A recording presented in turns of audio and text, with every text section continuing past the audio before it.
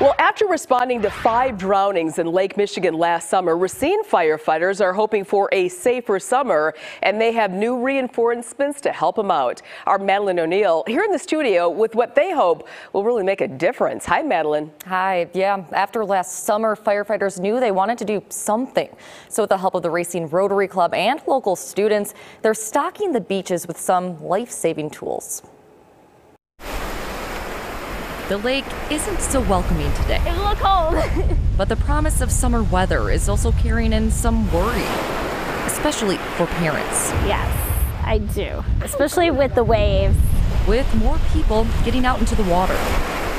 If you were out deep enough, if you weren't the strongest of swimmers, it would be a bit tough. Last summer we had two dive incidents at this on the same day at the same time. One was here and one was a little bit north at the same exact time. After Racine firefighters hurried to the lake for five rescues that ended in drownings last summer, including children.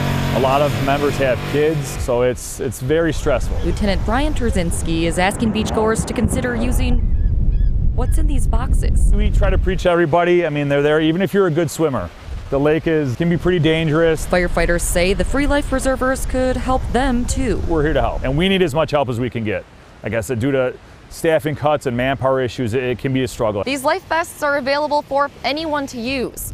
They just ask when you're done, you return them. It's good that they have those life vests. I think that's a great idea. I've never seen something like that. There are three life preserver bins total, two at North Beach and one at Zoo Beach, built by students from Park High School. Some of them actually knew some of the victims. So it it hit home for them. Terzinski says he hopes this will be enough to help turn the tides toward a safer summer.